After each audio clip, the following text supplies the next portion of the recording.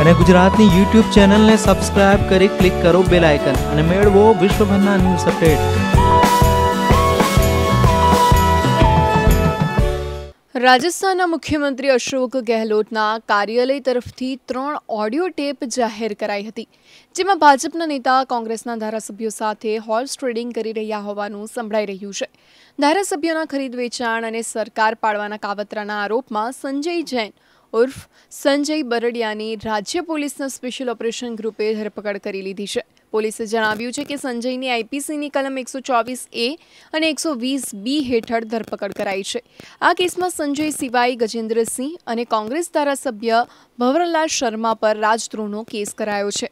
સંજય જૈનની ધરપકડ બાદ ભાજપે કોંગ્રેસ પર વળતો પ્રહાર કર્યો છે. ભાજપે શનિવારે પ્રેસ કોન્ફરન્સ કરીને કહ્યું કે શું સત્તાવાર રીતે ફોન રેકોર્ડ કરાયા છે?